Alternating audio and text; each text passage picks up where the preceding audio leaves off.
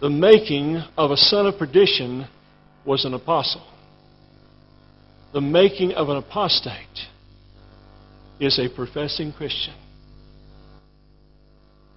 It's an alarming thing, is it not? You say, well, how does he do it, Brother Currin? I'll give you this shortly. First of all, there'll come a day in your life, even though you're a sincere professor in Jesus Christ, there'll come a day in your life if you neglect the ways of God, if you spurn the means of grace that Brother Paul addressed in the previous hour of secret prayer and the reading and appropriation of God's Word. There will come a day where increasingly you become conformed to this world and you'll no longer be convicted about your sin. No longer will God cease to annoy you about your sin. You see the reality of that. Ephesians chapter 4, it speaks of those who are past feeling. Secondly, you're no longer restrained in your sin. You'll look at things, you'll speak of things in a despicable way before God. Those things, they don't bother you. When you sin against God, you're not convicted.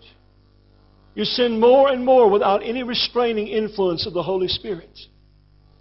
Much like Saul.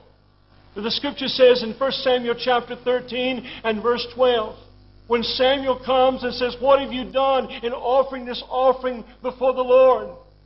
Saul said, I saw that you came not within the days appointed, therefore I forced myself to offer this offering.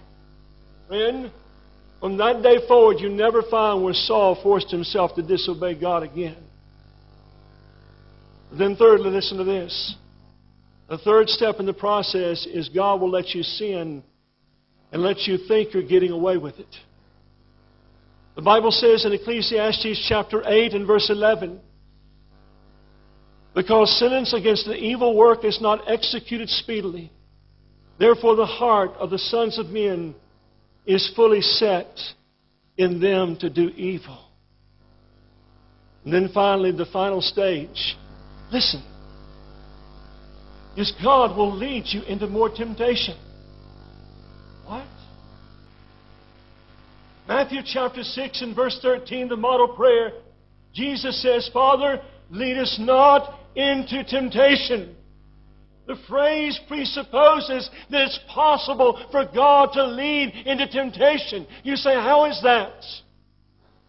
I didn't say God causes you to sin. I didn't say that God tempts you. But God does not tempt according to James chapter 1. But I'm telling you, friend, He will so back off of your life. It's like the temptation of sin is given to you consistently on a silver platter. It's for the purpose of hardening your heart more and more. It's the wrath of abandonment. I have been in conferences like this for a number of years. And people come with such hunger, seemingly such an insatiable appetite for truth and to obey God. But can I tell you that sadly, in a venue such as this, potentially you may be sitting beside one of the greatest apostates that the world has ever known. What will you do with what you've heard?